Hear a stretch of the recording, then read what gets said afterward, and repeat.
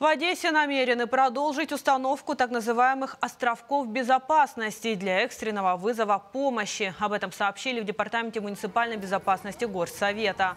Напомню, что пилотной кнопкой СОС одесситы уже больше года могут воспользоваться в Парке Победы.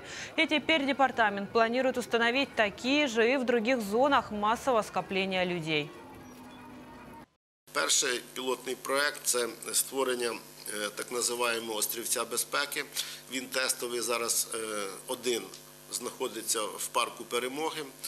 Е, Він підключений і є частиною системи відеоспостереження, де обладнаний відповідними камерами, виконаний з антивандального матеріалу. Принцип работы простой. Человек может подойти нажать кнопку соединения с оператором, который его увидел благодаря двусторонней видеосвязи, и сразу же сообщить о том, какая помощь требуется.